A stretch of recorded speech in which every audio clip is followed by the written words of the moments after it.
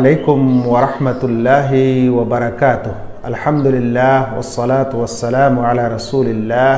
আম্মাবাদ সম্মানিত শ্রদ্ধেয় শ্রোতাবৃন্দ, মুসলিম এবং অমুসলিম ভাই সকল আমরা এই সময় মুহাম্মদ সাল্লাহ আলী ওয়াসাল্লামকে নিয়ে অনেক কিছু দেশ ও বিদেশের খবর এবং ইত্যাদি কিছু শুনছি। কিন্তু আমরা মোহাম্মদ সাল্লাহ সাল্লামকে কতখানি জানি? আমি যখনই মুহাম্মদ বলছি, তখন বলছি সাল্লাহ আলী ওয়াসাল্লাম। এটা তার নাম নয়, এটা তার জন্য দোয়া প্রার্থনা। যে হে আল্লাহ, তার উপর রহমত ও শান্তি বর্ষণ করো। আমরা আজকে এই ভিডিওতে জানব খুব সংক্ষিপ্ত আকারে মোহাম্মদ সাল্লাহ সাল্লামের জীবনী। তিনি কে এবং তিনি কি করেছিলেন পৃথিবীতে, কীভাবে তার শেষ মৃত্যু হয়েছিল। তিনি হচ্ছেন মোহাম্মদ, তার পিতার নাম হচ্ছে আবদুল্লাহ। আর তার দাদু অর্থাৎ পিতামহের নাম হচ্ছে আব্দুল মোত্তালিব। তিনি যে বংশে জন্মগ্রহণ করেন সেটি হচ্ছে আরবের প্রসিদ্ধ বংশ কোরায়েশ তার একটি উপনাম ছিল, সেই উপনামটি হচ্ছে আবুল কাসেম। তিনি পাঁচশো একাত্তর খ্রিস্টাব্দে এতিম হয়ে জন্মগ্রহণ করেন। অর্থাৎ তিনি যখন জন্মগ্রহণ করেন, তখন তার বাবা, তার পিতা ছিলেন না। অতঃপর যখন তার বয়স ছয় বছর হয়, তখন তার মা আমেনা এ দুনিয়া থেকে বিদায় নেন।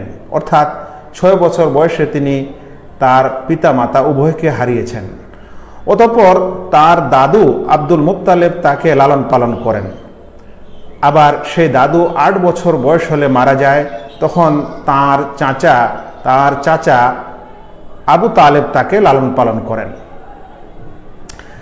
বলা হয়েছে তিনি এই বাল্যকালে রাখালত্বের কাজ করেছেন, ছাগল ও মেষ চড়িয়েছেন।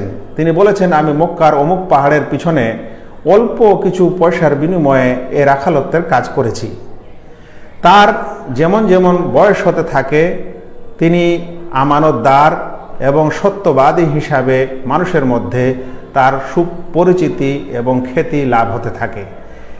এই খ্যাতির কারণেই খাদিজা রাদি আল্লাহ তাল আনহা মক্কার একজন বিত্তশালী মহিলা, ধনবতী মহিলা, সে তার ব্যবসা বাণিজ্যে তাকে, অর্থাৎ মোহাম্মদ সাল্লাহ সাল্লামকে অংশ নিতে আগ্রহ প্রকাশ করেন। তিনি তার ব্যবসা বাণিজ্য দেখাশোনা করেন। আল্লাহ রসুল সাল্লাহ সাল্লামের বয়স যখন পঁচিশ বছর হয়, তখন সেই মহিলা খাদিজা রাদি আল্লাহ তালা আনহার সাথে তার বিবাহ হয়। খাদিজা তালাক প্রাপ্তা মহিলা ছিল, বেওয়া বেওয়া মহিলা ছিল, যার বয়স সে সময় ছিল চল্লিশ। এদিকে মোহাম্মদ সাল্লা সাল্লামের বয়স ছিল পঁচিশ। অর্থাৎ পঁচিশ বছরের মোহাম্মদ সাল্লা সাল্লাম চল্লিশ বছরের বিধবা মহিলাকে বিবাহ করেন। এখান থেকে বোঝা যায় যে যারা তাকে কামভাবী মহিলা নবী বলেন, নাউজুবিল্লাহ তারা এই ঘটনাকে একটু বুঝলেই হয়তো বুঝতে পারবেন যে তার চরিত্র এরকম কিছু থেকে কলঙ্কিত করা অনুচিত এবং কশ্চিনকালেও চিন্তা করা যায় না। অতঃপর যখন মোহাম্মদ সাল্লাহ সাল্লামের বয়স চল্লিশ বছর হয়, তখন মক্কার হেরা পাহাড়ের গুহায় তিনি একাকিত্ব সেখানে থাকতে একাকিত্বে পছন্দ করতেন। এমন অবস্থায় আল্লাহ তালার দূত যাকে জিবরিল আলহিসাল্লাম বলা হয়, তিনি আল্লাহ তালার পক্ষ থেকে প্রথম ওহি মানে আদেশ বা সংবাদ নিয়ে মোহাম্মদ সাল্লাহ সাল্লামের কাছে আসেন। এই ফেরেস্তা বা এই দূত, আল্লাহ তালার দূত এর ধারণা প্রায় সমস্ত সেমেটিক ধর্মে পাওয়া যায়। অতপর মোহাম্মদ সাল্লাহ সাল্লামের খুব ভয় হয়। তখন খাদিজা রাদি আল্লাহ তালা আনহা আনহা তাকে নিয়ে বিভিন্ন জায়গায় ছুটাছুটি করেন। এই প্রথম আদেশ ও প্রত্যাদেশ যেটা আল্লাহর পক্ষ থেকে এসেছিল, সেই প্রত্যাদেশটি ছিল যে তুমি মানুষদেরকে বলে দাও, তারা যেন এক আল্লাহ ব্যতীত অন্যের ইবাদত না করে। সেই কথাটি হচ্ছে, লা ইলাহা ইল্লাল্লাহ, যাকে কিছু বাংলা ভাষায় এরকম বলা যেতে পারে যে, পূজ্যনীয় কেবল এক পরমেশ্বর, যেটা কিছু সংস্কৃত ভাষার এভাবেই এর অনুবাদ করা যেতে পারে। অতঃপর তিনি যখন মক্কাবাসীকে এক আল্লাহর ইবাদত করার বা পূজা করার আদেশ করেন এবং তাদেরকে এটা বুঝান, তখন মক্কাবাসীরা খুবই তার উপর রাগান্বিত হয় খেপে যায়। যার ফলে মোহাম্মদ সাল্লাহ সাল্লামকে তিন বছর বয়কট করে তার সঙ্গে কথাবার্তা বলা যাবে না, কোনো কিছু বিক্রি সিক্রি করা যাবে না, বিবাহ সাদীও দেওয়া যাবে না। তিন বছর তিনি বয়কটের জীবনযাপন করেন। মক্কাবাসীরা যখন তার এই দাওয়াত ও আহ্বান না শুনে, তখন তিনি তায়েফ শহরে চলে যান। সেখানেও কিন্তু তারা মারধর করে তিনি ফিরে আসেন। মক্কায় মুষ্টিময় কিছু মানুষ যারা ইসলাম গ্রহণ করে, তাদেরকে সেখানে থাকা দুরূহ হয়ে যায়।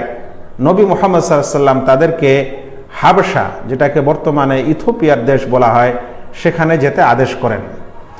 অতপর যখন নবী মোহাম্মদ সাল্লাহ সাল্লামের বয়স প্রায় পঞ্চাশ, ঠিক সেই সময় খাদিজা রাদি আল্লাহ তালা আনহা, যেই স্ত্রী যাকে তিনি বিবাহ করেছিলেন এবং তার থেকে সমস্ত সন্তান হয়েছিল, তিনজন ছেলে, চারজন মেয়ে, ছেলেগুলো সব সাবালক হওয়ার পূর্বেই নবী মোহাম্মদ সাল্লাহ সাল্লামের সন্তানেরা মারা যায়। মেয়েরা অনেকে ছিলেন। অতপর সেই স্ত্রী মারা যায় এবং তার সেই চাচা, যিনি তাকে বিভিন্নভাবে সাহায্য করতেন আবু তালেব, তিনিও মারা যান। মানুষের জুলুম অত্যাচার আরও তার উপর বেড়ে যায়। অতপর তিনি মক্কা ছাড়তে বাধ্য হন, চলে যান মদিনায়। মক্কা থেকে মদিনায় প্রায় সাড়ে চারশো পাঁচশো কিলোমিটারের দূরত্ব।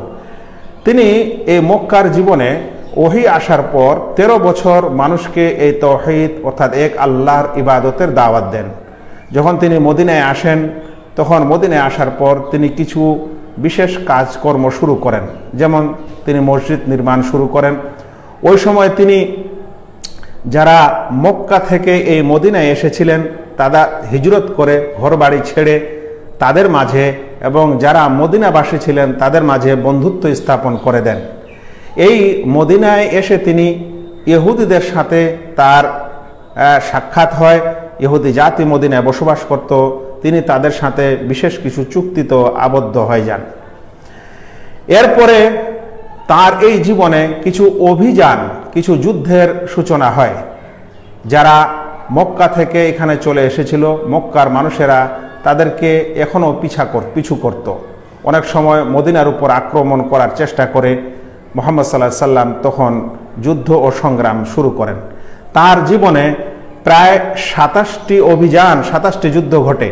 তার মধ্যে তিনি নয়টিতে সশরীরে অংশগ্রহণ করেন। বাকিগুলিতে তিনি অন্য কাউকে কমান্ডার করে প্রেরণ করেন। গবেষক পিএইচডি গবেষক এবং ইসলামিক গবেষকের মতে যে তার যে এতগুলি অভিযান, এই অভিযানে কতগুলো লোক মারা যায়?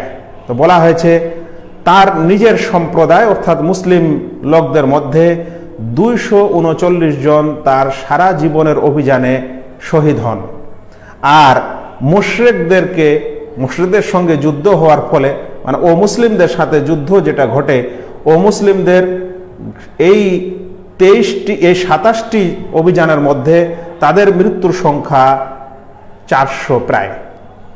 তো আজকাল যারা অমুসলিম মনে করে যে নবী মুহাম্মদ তরবারির মাধ্যমে ইসলাম প্রচার করেছে, তারা এই পরিসংখ্যা থেকে একটু চিন্তাভাবনা করতে পারেন।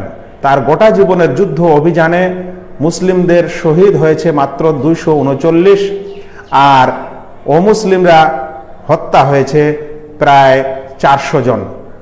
আজকাল যে কোনো একটা ছোট মোটো ঝামেলায় এই সংখ্যায় মানুষ মারা যায়। রাষ্ট্রনায়কদের উপর এরকম কোনো তহমতেই আসে না। যাই হোক, অতপর এই যুদ্ধ অভিযানের মাঝে মাঝে কিছু ডেলিগেটস বিভিন্ন দেশ এবং প্রান্ত থেকে তার কাছ থেকে কাছে আসতে থাকে। তিনিও বিভিন্ন দেশে এবং রাজাকে ইসলামের দাওয়াত দেওয়ার জন্য পত্র লেখালেখি করেন।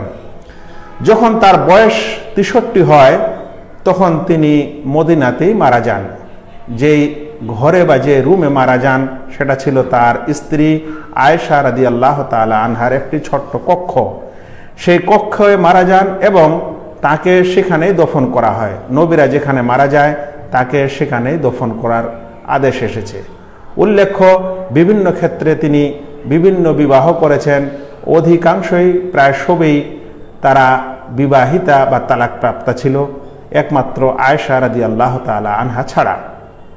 হ্যাঁ এটা সত্য যে তার সঙ্গে বিবাহ সম্পর্ক স্থাপন হয় নয় বছর বয়সে, যদিও বিবাহের কথাবার্তা তার আগে সিলেক্ট হয়েছিল।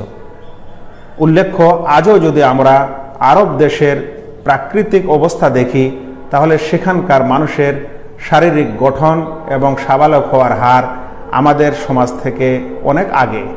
এই জন্য এটাকে কটুক্তির নজরে কটুক্তিকারীরাই দেখতে পারে। আসলে কিন্তু এটা বিশেষ কোনো সমস্যার বিষয় নয়, যেটা বিভিন্ন মনীষী এবং বিভিন্ন লোকের বিভিন্ন জীবনে থেকেও এরকম ঘটনা পাওয়া যায় এবং দেখা গেছে। উল্লেখ্য, যে মানুষ এই নবীর উপর একবার তার জন্য দোয়া করবে রহমতের, আল্লাহ তালা তার উপর দশবার রহমত প্রেরণ করবেন এবং তার প্রশংসা তিনি ফেরেশতার কাছে করবেন। এ কথা তিনি বলে গেছেন।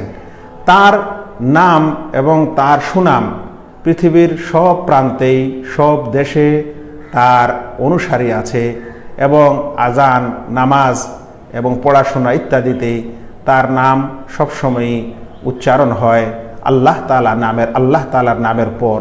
আল্লাহ তালা তাই বলেছেন ওয়ারাফা আনা আল্লাকা জিক্রাক আমি তোমার এই জিকিরকে, তোমার এই খ্যাতিকে উন্নত করেছি, সমুন্নত করেছি।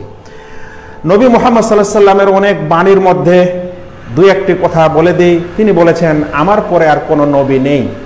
তাই কেউ নবী হওয়ার দাবি তার পরে করতে পারে না। করলে সেটা মিথ্যা দাবি হবে।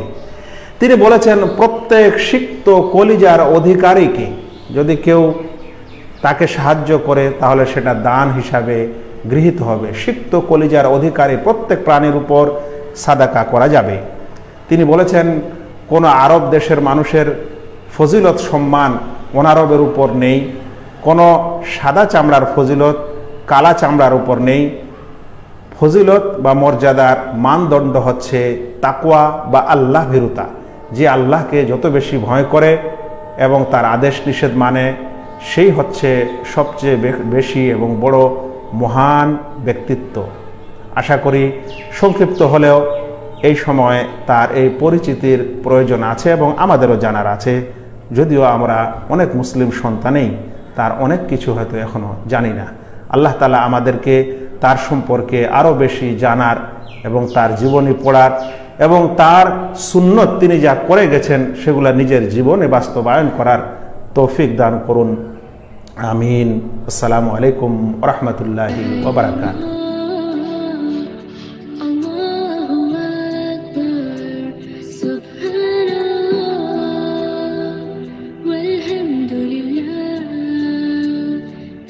I know.